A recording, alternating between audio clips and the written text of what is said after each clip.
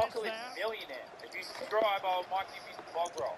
I'll give you some toilet paper. Alright, so obviously we're all very bored in quarantine, away, so I ask you guys to find the funniest TikToks and videos, search the entire internet, and get us the absolute best stuff. Because obviously the current world situation is no laughing matter, very serious, and many of us are trying to do our part to stay Now, indoors, so we need some entertainment. Ah! What the hell, ref? Illegally, free-to-play game same